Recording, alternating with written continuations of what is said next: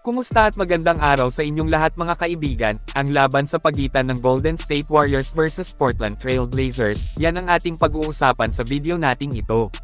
So ito na ang ikatlong harapan ng magkabilang kupunan, unang laban noong December 7 taong kasalukuyan na kung saan nakuha ng gold-blooded ang panalo sa larong iyon sa score na 110 to 106, pangalawang banggaan noong December 18 na kung saan nakuha pa rin ng Warriors ang panalo sa laban na iyon sa score na 118 to 114.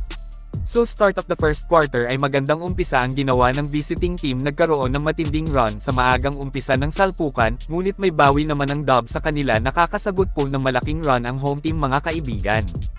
Mainit ang lumutang na performance ang ipinamalas ng magkabilang kupunan nag-init agad, grabe ganda ng bakbakan sulit ang oras sa panunood. Pagdating ng second half ay dito na nakuha ng Golden State Warriors ang napakagandang momentum sa laro, na kung saan kontrolado na nila ang game nan dahil sa patuloy na magandang ball movement, pinapahalagahan ang bawat posisyon bitbit na ang matinding hustle din pagdating sa depensa total team effort ang ipinalutang kaya deserve ang panalo. Tinapos nila ang Portland sa tambak na score 120 to 106. Ang Warriors ay pinangunahan ni Klay Thompson na naglista ng 28 points at may 3 rebounds, sinundan naman ni Stephen Curry ng 27 points 3 rebounds at may kasamang dalawang assist.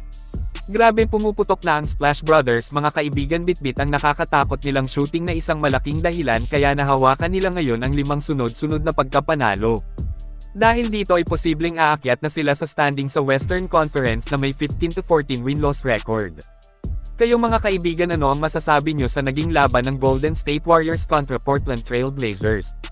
E-comment lang po yan sa ibaba at akin pong babasahin yan, huwag kalimutan na mag-like at mag-subscribe po sa ating channel kung hindi ka pa nakaka-subscribe bilang suporta, maraming salamat po mag-iingat at God bless sa lahat.